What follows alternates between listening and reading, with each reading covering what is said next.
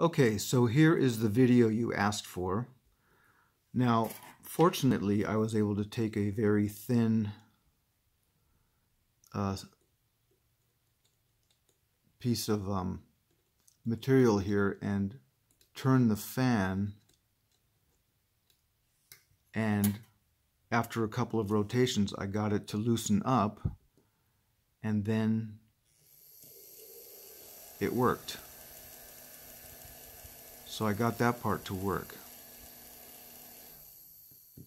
And now the only problem is that this, it when it came, it was very, very floppy and loose because it's the glue here had become undone.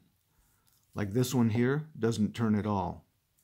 And you can bend it and do the way do what it's supposed to do. But this one's loose. So I tried gluing it here.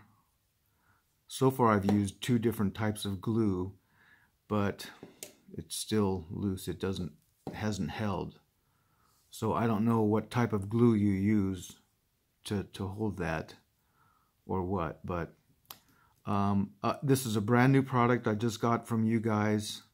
I shouldn't really have to be doing this and fixing it myself. So I don't know what you want to do about it, if anything, but um, that's where it stands right now. Okay? So this is the video you asked for.